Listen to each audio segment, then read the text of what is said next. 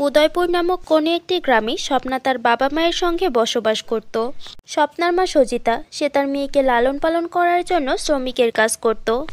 কিন্তু স্বপ্নার বাবা ছিল একজন নেশাখোর। সে তার মেয়ে এবং স্ত্রীর জীবন দুর্বিষহ করে রেখেছিল। সুরেশ সন্ধ্যাবেলায় মদ পান করে বাড়িতে ফিরত এবং সে সজিতাকে অনেক মারধর করত। আর সজিতা যে টাকাগুলো ইনকাম করত, সে সেইগুলো ছিনিয়ে নিয়ে যেত। কখনো কখনো তাদেরকে ক্ষুধার্তই থাকতে হতো। এভাবেই সময় কাটছিল। একদিন স্বপ্না বাগানে পাখিদের খাবার দিচ্ছিল। ঠিক সেই সময় তার কাছে কিছু মেয়ে আসে এবং স্বপ্নাকে বলে, স্বপ্না, জানতাম যে তুই প্রতিদিন এইখানেই আসিস। বিশ্বাস ছিল যে তোকে এইখানেই পাওয়া যাবে, তাই আমরা এইখানেই আসলাম। তুই জানিস, আমরা সবাই মিলে নিউ ইয়ারে একটা অনেক বড় পার্টি করতে চাই, আর সেখানে আমরা অনেক সুন্দর সুন্দর লেহেঙ্গা পরবো। আমি আমার বাবাকে বলেছি দিল্লি থেকে আমার জন্য দামি একটা লেহেঙ্গা নিয়ে আসতে। সেটাও অনেক সুন্দর এবং রূপা বসানো। আরে ন্যানা, এটা তুমি কেমন কথা বলছো? বেচারি গরিব, অসহায়, ওর বাবা একজন নেশাখোর। ওর বাবা ওকে কখনোই দামি লেহেঙ্গা কিনে দিতে পারবে না, আর না, ও আমাদের সাথে পার্টি এনজয় করতে পারবে। ওর বাবা আমাদের বাবার মতো ভালো নয়, ওর বাবা খুব বাজে, খুব খারাপ। ওর বাবা একজন নেশাখোর। এর কারণে ও আমাদের সাথে পার্টিতে আসবে না। আচ্ছা তাহলে ঠিক আছে, আমরাই পার্টি এনজয় করে নেব। কারণ নিউ ইয়ারের পার্টি আমাদের মতো ধনী মেয়েরাই করতে পারে। এটা তোদের মতো গরিবদের মতো নয়। তোরা না ভালো পোশাক পরে আসবি আর না পার্টির জন্য কোনো টাকা দিবি। এর কারণে তুই না আসাটাই ভালো হবে। এখানে পাখিদের খাবার দে তুই। চলো ফ্রেন্ডস আমরা যাই। এমনটা বলে সকল মেয়েরা বেচারি স্বপ্নাকে নিয়ে অনেক মজা করে এবং সেইখান থেকে চলে যায়। বিষয়টা স্বপ্নার ভীষণ খারাপ লাগে এবং সে কান্না করতে করতে বাড়িতে ফিরে আসে আর তার মাকে বলে, মা, বাবা এমন কেন? বাবা এত খারাপ কেন? বাবা প্রতিদিন মদ খেয়ে কেন বাড়িতে আসে? তুমি জানো, আজকে আমার বন্ধুরা এই বিষয়টা নিয়ে অনেক হাসাহাসি করেছে। নিউ ইয়ার পার্টি হচ্ছে, সবাই লেহেঙ্গা পরে ওইখানে যাবে, কিন্তু আমি যেতে পারব না। কারণ আমার কাছে কোনো লেহেঙ্গা নেই। লেহেঙ্গা তো অনেক দূরের কথা, কোনো একটা ভালো পোশাকই নেই আমার কাছে। স্বপ্না, দেখো কান্না করো না, চুপ করো। আমি জানি যে তোমার জীবনটা কোনো সাধারণ বাচ্চার মতো নয়। তুমি অনেক কঠিন বাস্তবতার শিকার হয়েছ। এই বয়সে তোমার পড়ালেখা করা উচিত ছিল। কিন্তু তুমি এখনও বাড়িতে বসে আছো। তোমার কাছে খাবার জন্য না খাবার আছে, আর না পড়ার জন্য কোনো ভালো পোশাক আছে। আমাকে ক্ষমা করে দাও। আমি তোমার ভালোভাবে খেয়াল রাখতে পারি না। দুই মামি অনেক বেশি চিন্তিত ছিল এবং তারা অনেক কান্না করছিল। ঠিক তখন সুরেশ চলে আসে এবং সে সজিতার চুল ধরে বলে যখন দেখি তোমরা দুইজন অপয়া শুধু কান্না করতেই থাকো। চল এখন টাকা বের কর। আর আমি তোমাকে প্রতিদিন টাকা কোথায় থেকে দেব? আমি কি কোনো চাকরি করি? আমি প্রতিদিনের দিন মজুর প্রতিদিন যা ইনকাম করি তা থেকে খাবার বাড়ির ভাড়া সব কিছু দিয়ে এখন একটা টাকাও নেই আমার কাছে। দুই দিন হয়ে গেল আমি আর স্বপ্না কিছুই খাইনি। তুমি দুই দিন বাড়িতে আসনি। তুমি তো কিছুই জানো না। টাকা নেই আমার কাছে। আমার চুল ছেড়ে দাও। আচ্ছা তো এই কথা টাকা নেই তোর কাছে? দাঁড়া, এক্ষুনি মজা দেখাচ্ছি তোকে। এটা বলে সুরেশ বেচারি সজিতাকে অনেক মারধর করে এবং ঘরের জিনিসপত্র এদিক ওদিক ছুঁড়ে ফেলে দেয়, বাড়ি থেকে বেরিয়ে যায়। এবং তার মাকে বলে, মা, এই লোকটা বাবা হওয়ার যোগ্যই নয়, আর এমনিতেও এই পুরো গ্রামে আমাদের অনেক অসম্মান হয়েছে। মা, চলো, আমরা এখান থেকে দূরে কোথাও চলে যাই। এরপর স্বপ্না তার মায়ের ক্ষতস্থানে হলদির প্রলেপ লাগায়। এরপর সজিতাও তার মেয়ের কথা বুঝতে পারে। তাই তারা দুই মা মেয়ে মিলে সেই গ্রাম ছেড়ে অনেক দূরের একটি জঙ্গলে গিয়ে ছোট্ট কুঠুরি বানিয়ে থাকতে শুরু করে। সজিতা পাশের গ্রামেই দিন মজুরের কাজ করত আর সেখান থেকে যা টাকা ইনকাম হতো তা দিয়েই তাদের দুই মা মেয়ের দিন বেশ ভালোই কাটছিল। এরপর স্বপ্নাও একটা সরকারি স্কুলে পড়ালেখা করত। একদিন স্বপ্না যখন স্কুল থেকে বাড়িতে ফিরে আসে, তখন সে লক্ষ্য করে তার মা প্রচণ্ড জ্বরে ভুগছিল। এটা দেখে স্বপ্না তার মাকে বলে, আরে মা, তোমার শরীর তো অনেক খারাপ, আর তুমি ঠিক মতো চলতেও পারছ না। তবুও তুমি কাজ করতে যাচ্ছ? না, আজকে কাজে যাবার কোনো প্রয়োজন নেই। তুমি বাড়িতে বিশ্রাম করো। আরে কি বলছো তুমি এটা? আরাম, আমাদের কপালে বিশ্রাম নেই। আর আমি যদি কাজ করতে না যাই, তাহলে খাব কি? এর কারণে জ্বর হোক কিংবা অন্য আরও কিছু, কাজ করতে যেতেই হবে। মা, এর সমাধান আমার কাছে আছে। আমাদের স্কুলের পাশে একটা আন্টি আছে। সেই আন্টি সেলাইয়ের কাজ জানে। আর আমি ওনার থেকে সেলাইয়ের কাজ শিখে নিয়েছি। এখন শুধু একটা সেলাই মেশিনের দরকার। তোমার মেয়ে বাড়িতে বসেই সেলাইয়ের কাজ করবে। আর মায়ের খেয়ালও রাখবে। এর কারণে তুমি আমাকে একটা সেলাই মেশিন কিনে দাও। এখন তোমার মেয়ে দর্জি হবে। মা স্বপ্না, তুমি কত ভালো। অবশ্যই আমি আগের জন্মে কোনো পুণ্য করেছিলাম। এর কারণে খোদা আমাকে এত ভালো একটা মেয়ে দিয়েছে। তুমি জানো, তোমার বাবা সবসময় আমাকে ছেলে না হওয়ার জন্য নানান কথা শোনাতো। আর আমাকে এই নিয়ে অনেক মারধর করতো। স্বপ্না, তুমি অনেক ভালো। আমার কাছে এত টাকা আছে, যা দিয়ে আমি তোমাকে একটা সেলাই মেশিন কিনে দিতে পারব। সজিতা তার জমানো টাকাগুলো দিয়ে তার মেয়ে স্বপ্নাকে একটা সেলাই মেশিন কিনে দেয়। স্বপ্না প্রতিদিন সকালে স্কুলে যেত এবং স্কুল থেকে আসার পর তার কাছে অর্ডার পাওয়া কাপড়গুলো সেলাই করত। আর সে নিজের মায়েরও খেয়াল রাখত। আস্তে আস্তে এই সেলাইয়ের জন্য স্বপ্নার অনেক নামডাক হয়। আশেপাশের মানুষজন নিজেদের বিয়ে এবং যে কোনো প্রয়োজনে যে কোনো জামা কাপড় বানাতে স্বপ্নার কাছেই আসতো। আস্তে আস্তে স্বপ্না নিজের ছোট একটা দোকান খুলে নেয়। এখন তার বাড়ির অবস্থা আগের থেকে অনেক ভালো। কিন্তু দিন দিন সজিতার অবস্থা খারাপ হয়ে যাচ্ছিল। সুস্থ হবার কোনো নামগন্ধই ছিল না। হঠাৎ করেই একদিন তার শরীর অনেক বেশি খারাপ হয়ে যায় এবং সে তার মেয়ে স্বপ্নাকে বলে, স্বপ্না, জন্মের পর থেকে তুমি শুধু বিপদ আর বিপদ দেখেছ। আমাদের ভালো দিন আসতে চলেছে আর এখন আমাকে তোমায় ছেড়ে চলে যেতে হবে। মা, আমি খুশি এই ব্যাপারে যে আমি চলে যাবার পর তোমাকে আর ক্ষুধার্ত থাকতে হবে না। আমার মেয়ে নিজে সেলাই করে ইনকাম করে নিজের পেট চালিয়ে নিবে। মা, তুমি অনেক ভালো। তোমার মতো সন্তান ওপরওয়ালা সবার ঘরে ঘরে দিক। মা, এটা তুমি কি বলছো? এখন তো শুধু আমি একটা ছোট্ট দোকান খুলেছি। এখনও তোমার অনেক কিছু দেখার আছে। চারিদিকে তোমার মেয়ের অনেক নাম ডাক হচ্ছে।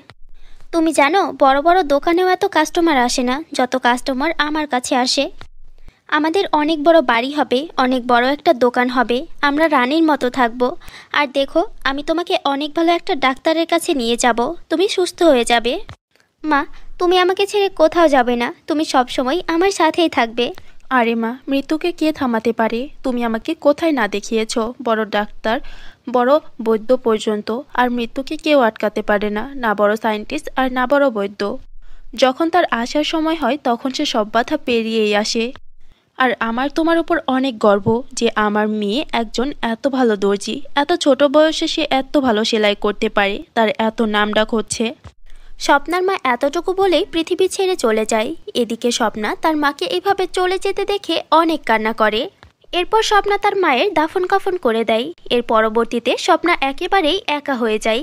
সে একাই পরিশ্রম করে। সততার সঙ্গে পরিশ্রম করার কারণে সে অনেক সাফল্যে পৌঁছায়। তার দোকানের পাশেই একটা ছোট্ট বুটিক ছিল, যেটা স্বপ্নার দোকানের কারণে একেবারেই বন্ধ হয়ে গিয়েছিল প্রায়। এরপর সেই দোকানের মালকিন, কাবেরি, স্বপ্নার কাছে আসে এবং তাকে বলে, দেখ মেয়ে, তোকে ভালোই ভালোই বলছি। তোর দোকান এখান থেকে অন্য কোথাও নিয়ে যা। যখন থেকে তুই এইখানে এসেছিস, আমার এইখানে বিক্রি বন্ধ হয়ে গিয়েছে। আমার সব কাস্টমার তোর দোকানে আসে।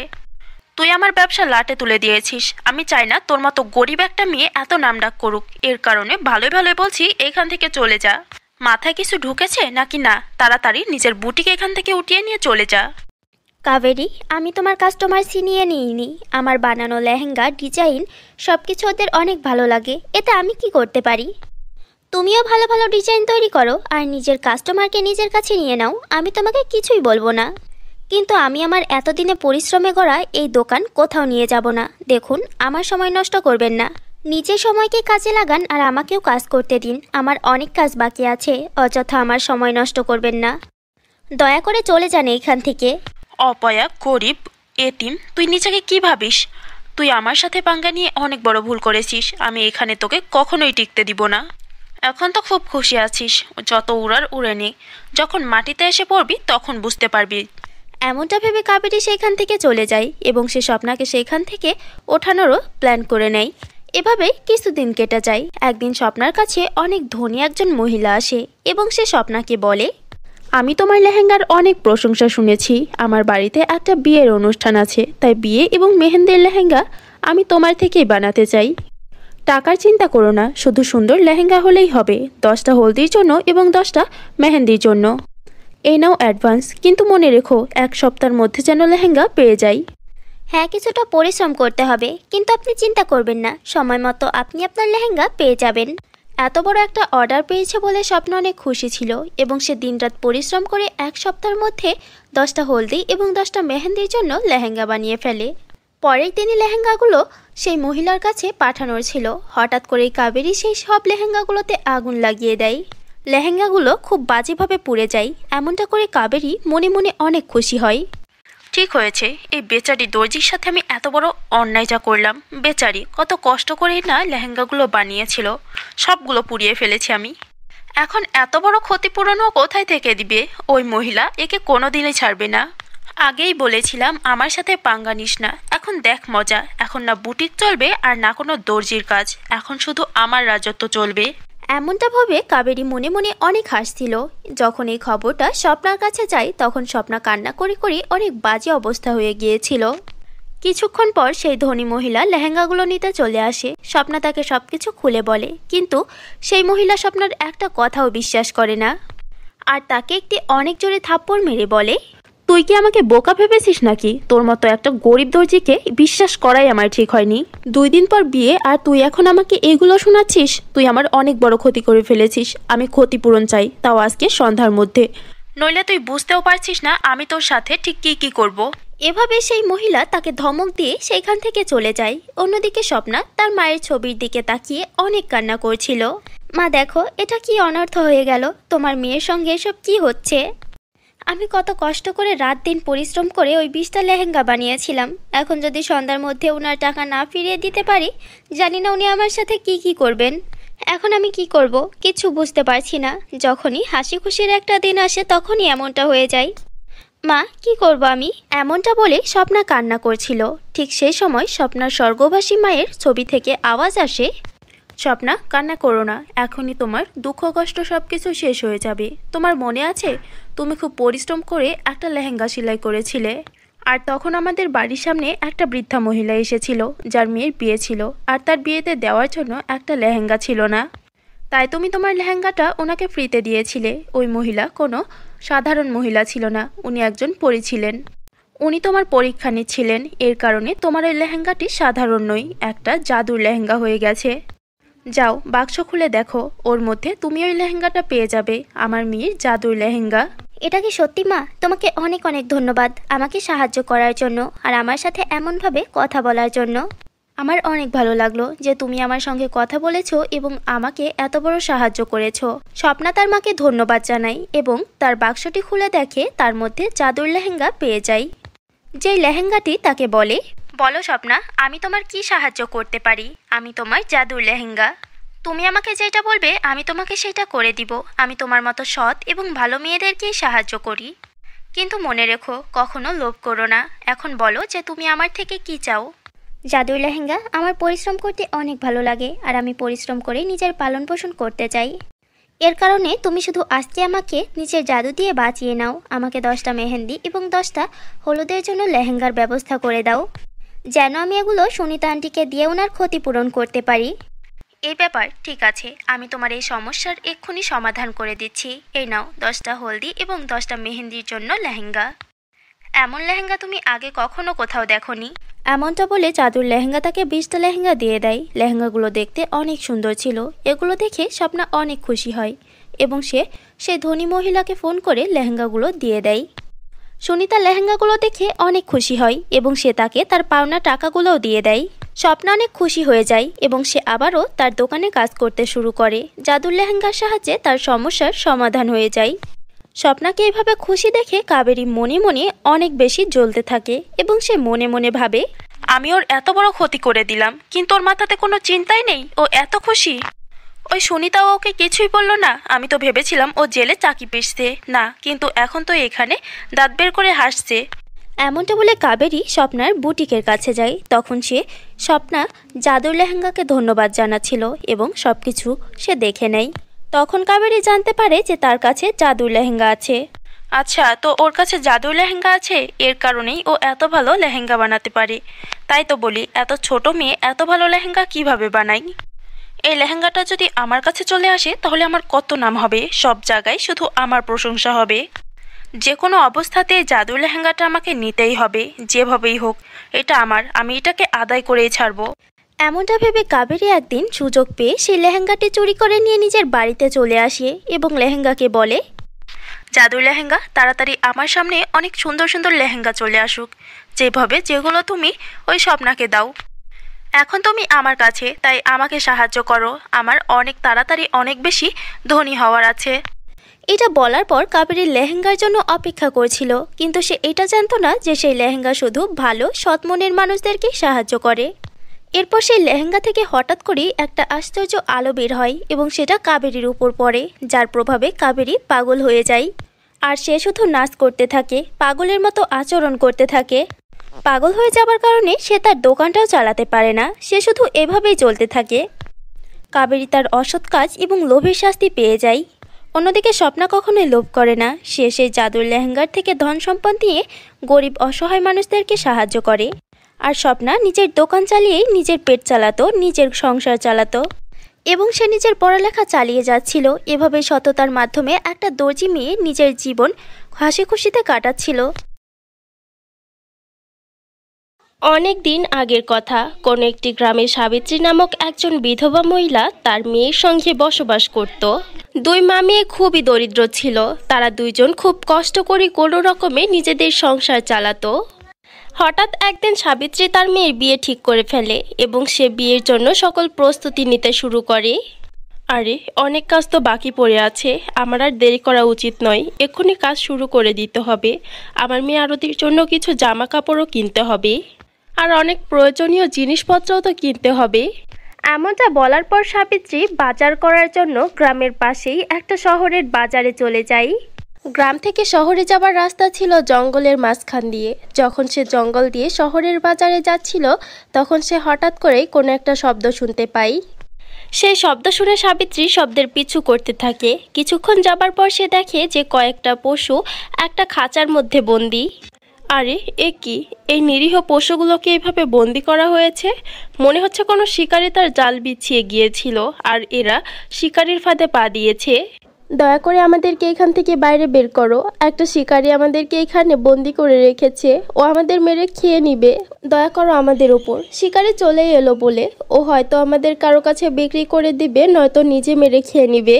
দয়া করে আপনি আমাদেরকে বাঁচিয়ে নিন। আমরা এত তাড়াতাড়ি মরতে চাই না।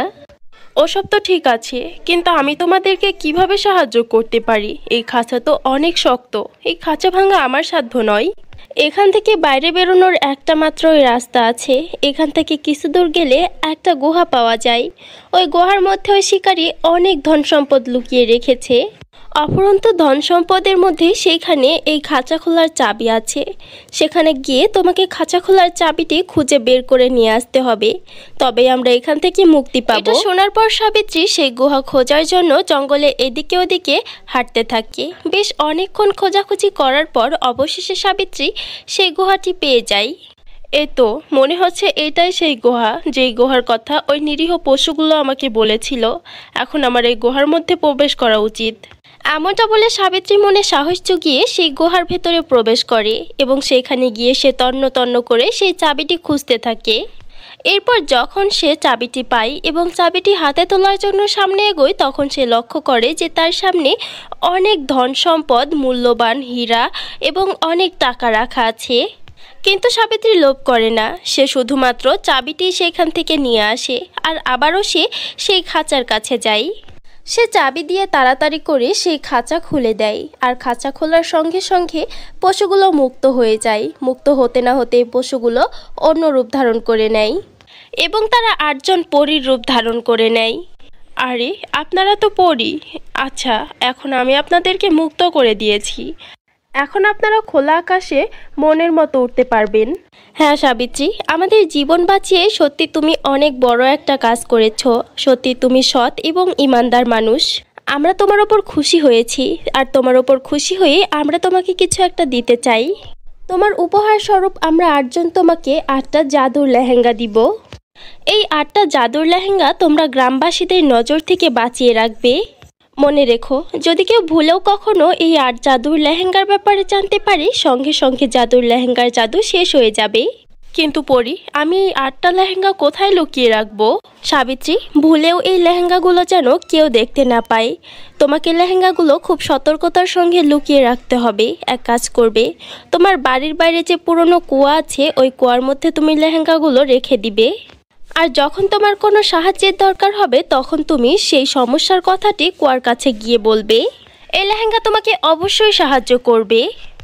এরপর পরীরা সবাই মিলে সাবিত্রীকে আটটা লেহেঙ্গা দেয়। লেহেঙ্গা পেয়ে সাবিত্রী অনেক বেশি খুশি হয় এবং সে পরীদেরকে ধন্যবাদ জানায়। এরপর পরীরা সেখান থেকে চলে যায়। সাবিত্রী লেহেঙ্গা নিয়ে তার বাড়িতে চলে আসে।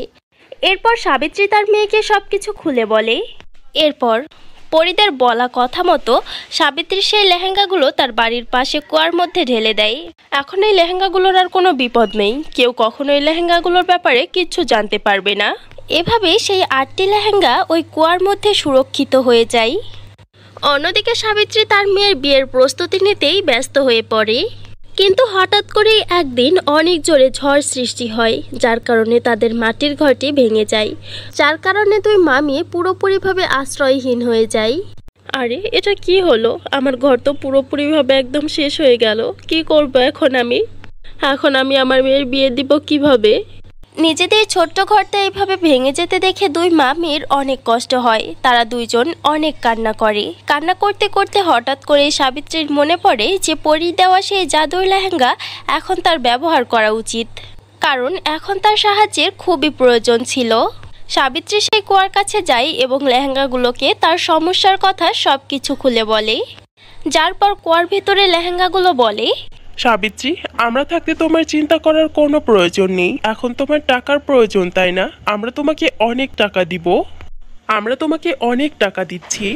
এমনটা বলার পর কুয়ার মধ্য থেকে আটটা লেহেঙ্গার ভেতর থেকে একটা লেহেঙ্গা বাইরে বেরিয়ে আসে এবং সেই লেহেঙ্গা সাবিত্রীকে অনেক টাকা দেয়। যা দেখে সাবিত্রী এবং তার মেয়ে অনেক খুশি হয়। আর অন্যদিকে সাবিত্রী এবং তার মেয়ে এমন আশ্চর্য জাদু এর আগে কখনোই দেখেনি। এরপর সেই লেহেঙ্গা আবারও ওই কুয়ার মধ্যে চলে যায়। আরে বাহ মা এখন তো আমাদের কাছে অনেক টাকা চলে এসেছে। এই টাকা দিয়ে এখন আমরা আমাদের জন্য একটা অনেক ভালো বাড়ি তৈরি করতে পারি। হ্যাঁ মা তুমি ঠিকই বলেছ। আমাদেরকে তাড়াতাড়ি একটা নতুন বাড়ি কিনে নেওয়া উচিত। এরপর দেরি না করে সাবিত্রী সেই টাকাগুলো দিয়ে অনেক সুন্দর অনেক বড় একটা পাকা বাড়ি কিনে নেয়। আর এটা যখন সাবিত্রীর এক প্রতিবেশী জানতে পারে তখন সে ভীষণই অবাক হয়। আরে, কাল পর্যন্ত তো এদের কাছে খাবার জন্যই কোনো কিছু ছিল না। আর আজকে হঠাৎ করে এত বড় বাড়ি কিনে নিল? আর মানুষের মাঝে এত টাকা বিতরণ করছে? আমাকে খোঁজ নিতেই হবে যে সাবিত্রী হঠাৎ করে এত বড়লোক হয়ে গেল কীভাবে? কাল পর্যন্ত যার কাছে খাবার জন্য কোনো পয়সা ছিল না, আজকে সে অন্যের মধ্যে টাকা বিতরণ করছে? আর সেই দিনের পর থেকে সেই প্রতিবেশী সাবিত্রীর ওপর নজর রাখতে শুরু করে। সাবিত্রী যেখানে যেত, সে তার পিছু পিছু সেখানেই যেত। হঠাৎ একদিন সাবিত্রী কুয়ার কাছে যায় এবং সে কুয়াকে বলে, হে জাদুর কুয়া, আমি আপনার কাছে অনেক অনেক কৃতজ্ঞ আমাকে এত সাহায্য করার জন্য। কিন্তু আপনি আমাকে যেভাবে সাহায্য করেছেন, আমিও অন্য সব গরিব অসহায় মানুষদেরকে ওইভাবে সাহায্য করতে চাই। তাই দয়া করে আপনি আমাকে আরও কিছু টাকা দিয়ে দিন, যেন আমি আরও কিছু অসহায় গরিব মানুষদেরকে সাহায্য করতে পারি। সাবিত্রী এমনটা বলতে কুয়া থেকে সকল জাদুর লেহেঙ্গাগুলো বাইরে বেরিয়ে আসে এবং সেই সমস্ত লেহেঙ্গাগুলো একসঙ্গে মিলে সাবিত্রীকে অনেকগুলো টাকা দেয়। টাকা পেয়ে সাবিত্রী অনেক খুশি হয় এবং সে জাদুর লেহেঙ্গাগুলোকে ধন্যবাদ জানায় আর বলে, তোমাদের সবাইকে অনেক অনেক ধন্যবাদ আমাকে এই টাকাগুলো দেওয়ার জন্য। এখন আমি এই টাকাগুলোর সাহায্যে আরও অনেক অসহায়, দরিদ্র মানুষের চাহিদা পূরণ করতে পারব।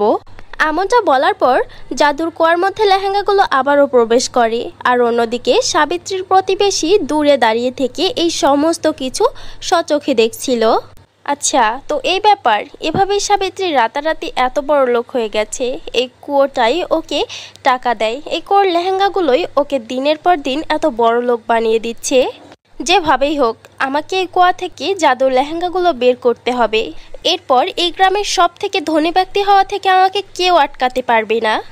এরপর সে রাত হওয়ার জন্য অপেক্ষা করে। রাত যখন গভীর হয়, সবাই যখন ঘুমিয়ে পড়ে, তখন সেই প্রতিবেশী সাবিত্রীর বাড়ির কাছে আসে এবং সে সিঁড়ির সাহায্যে কুয়ার ভেতরে প্রবেশ করে। তাকে দেখা মাত্র লেহেঙ্গাগুলো প্রচণ্ড রেগে যায় এবং বলে এই লোভী মহিলা এখানে এসেছে, আমাদেরকে এখান থেকে নিয়ে যাওয়ার জন্য। এখন ওকে একটা ভালো শিক্ষা দিতেই হবে। এরপর সমস্ত লেহেঙ্গা নিজেদের জাদু শক্তির দ্বারা সেখানে বিদ্যুৎ উৎপাদন করে এবং সেই বিদ্যুৎ তারা সেই মহিলার ওপর ছুঁড়ে মারে, যার কারণে তার অনেক জোরে কারেন্টের শক লাগে। হায় আল্লাহ, মরে গেলাম রে। অনেক যন্ত্রণা হচ্ছে। কেউ আছো, বাঁচাও আমাকে। আরে, মরে গেলাম। কেউ বাঁচাও আমাকে। কেউ বের করো আমাকে এখান থেকে। কেউ সাহায্য করো। আমি দ্বিতীয়বার আর কখনোই এমনটা করব না। দয়া করে আমাকে বাঁচাও। বাঁচাও। কারেন্টের শক খাবার পর সেই মহিলা কুয়া থেকে বাইরে বের হয় এবং নিজের জীবন বাঁচিয়ে সেখান থেকে দৌড়ে পালাই। এরপর সাবিত্রীর প্রতিবেশী সেই লেহেঙ্গাগুলো চুরি করার কথা জীবনে আর কখনো দ্বিতীয়বারও ভাবে না। এদিকে সাবিত্রী সেই জাদুর লেহেঙ্গার সাহায্যে হাসি খুশিতে নিজের জীবন উদযাপন করতে থাকে।